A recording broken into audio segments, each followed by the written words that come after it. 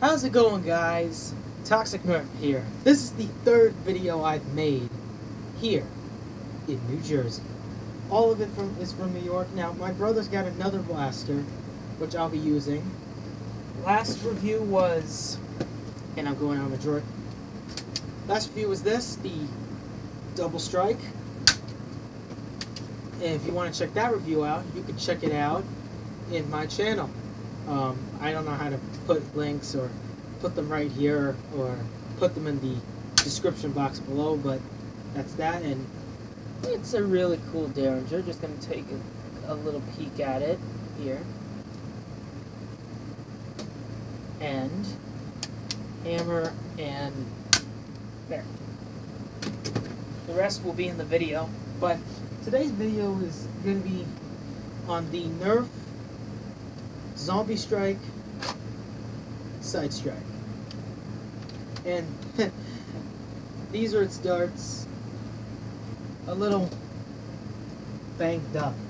Um, some are like loosely falling out, which is this one. But I think if you get them a little bit of moist, I think it'll help it.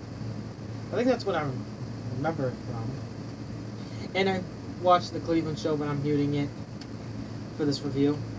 So we'll start off with the front. We have a barrel here, and these are the dart holders, so you can place your darts in. However, do not place this dart in, because it goes all the way in there, like really flush in there, and I... You need to have fingernails to get this out. I mean, works like how it is. Oops. Um, you got a rail on the bottom, which is kind of weird if you want to put two grips. I've done a Retaliator grip before. Um, we have the uh, the rear and the back iron sights, which I think they're close to the 1911 or something. Um, there's a big Zombie Strike logo here with Nerf, Nerf on this side, Sight Strike on these sides, and the Zombie Strike logo on these sides. But nothing else. Uh, and Strike Elite logo, so it is a Fire Strike, and it, and it does got that same handle on it, um, except it doesn't have that weird light. Um, triggers what you expect. The pullback's right here. Um, it's got a wooden handle design, which I like. It's nice and uh, firm as well. Um, this is the top priming slide, is where the iron sights are, so you just pull this back, which, as you can see, the Zombie Strike logo is cut out. They slide that back. It's got a return spring. Um, when you first get it, the prime's like kind of like that. It's like stiff, but in this, it's not. Um, and after you're done priming, all you do is just pull that trigger, and it's it's what you expect for a, a fire strike. It performs well. I mean, I'm not going to show tests. I mean, I mean, I can hit the wall here, and it's alright. Um, but we'll go over the holster. I'm actually going to take these darts out, because this is ridiculous. Just, these darts just flopping out. But the holster has a big Zombie Strike logo. The copyright information's here, which both of them are 2013, so this is like a bit three years old. Um, ammo storage is here. There's a clip here so you can attach it to your uh, your belt or something or your pants. I got shorts on, but this is the way it's supposed to be. And then you can put your side strike like like this. Like you can have it like how Indiana Jones does it, and you could do a quick pew pew pew pew pew, or you could turn it on the flip side, like you could do a crosshair, which um, to be honest, I think the crosshair.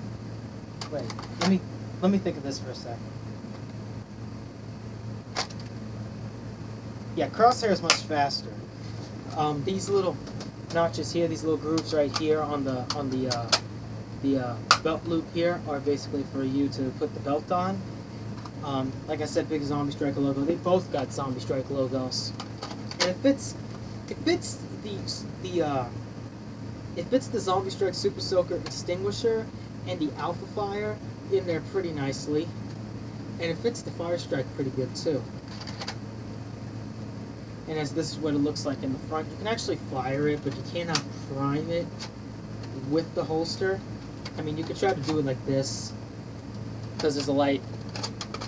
It's like a little cutout here, so you can prime it, but it won't return back. And plus, I don't want, I don't want, I don't want any like break on the uh, on the slide.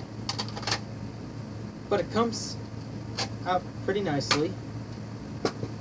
And putting the darts in.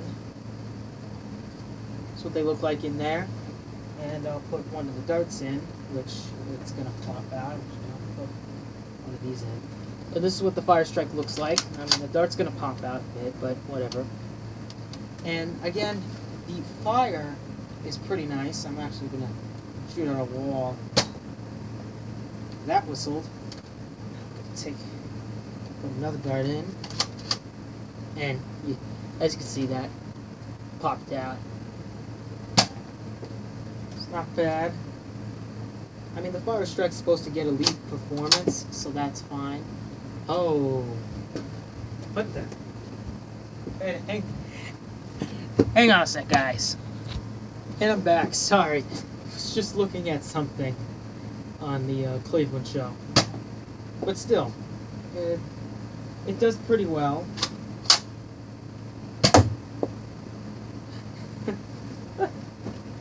it is pretty good. And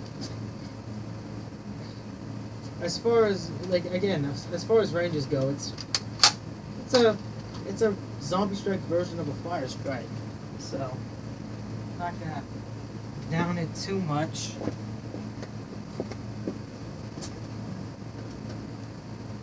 This here. So we're not gonna down it too much, but I would definitely get this and do not do not put a dud dart, which is a dart with no tip, in here because if you can hear this, I mean, it shoot it, but not as far. So, don't be putting any sort of dart in this thing. Don't even put any dart dart. So, yeah, so that's the review.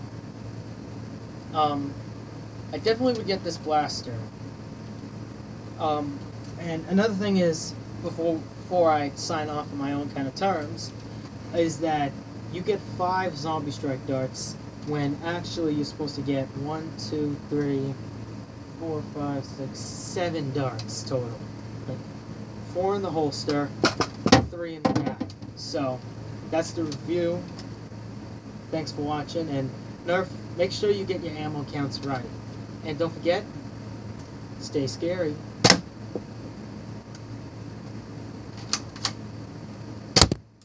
Can't even prime it with the dart.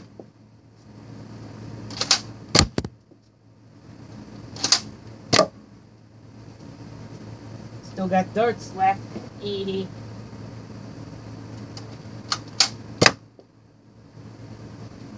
You keep running like this. Jeez. I better sign off quick.